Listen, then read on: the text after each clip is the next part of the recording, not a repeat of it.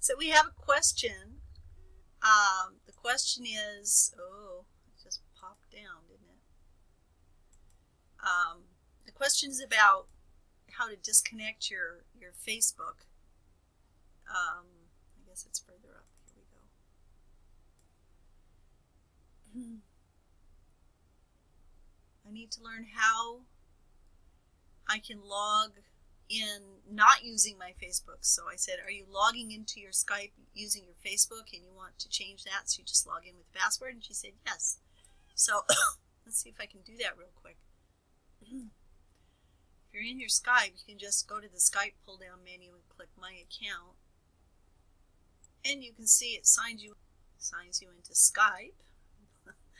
and uh, what you want to do now is um, scroll all the down to uh, account settings underneath settings and preferences and this is where you disconnect or connect your Facebook um, or your Microsoft to your Skype account. So you can unlink your Facebook account. Now, um, I'm not exactly sure why I'm still logging in with my password, even though my Facebook is linked. Obviously, because it says unlink. Um, but you could try unlinking your Facebook and then you would have to log in with your Skype account, with your, uh, you know, Skype username and password. Um, make sure that you can log into Skype.com with your password before you do this, please, because you might be kicked out of your Skype account when you unlink it. Um, I'm not sure. So I would go to Skype.com and, you know, rather than do what I just showed you and go from here, actually go to Skype.com and uh, and log out and then attempt to sign in to make sure that you have your password correct.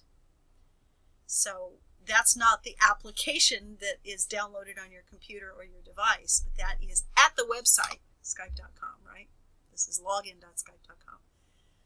But if you just went to skype.com and clicked sign in, you'd get to that same page. It changes from skype.com to da da da da da Come on. Sign in. sign in to login.skype.com and then make sure you can log in with your password rather than signing in with Facebook. If you can log in to the website with your password and your username, not your Microsoft account, not your Facebook account, but just your Skype name, Skype ID, and a password, keep that password in your first Skype first aid kit oh, that you can get from seeyouonskype.com. Download that, keep your records in it, keep them up regularly. Then I would say it's perfectly fine to unlink your Facebook account and you will know what your password is. So hopefully that helps. If this doesn't help, then ask more questions in your member Skype room.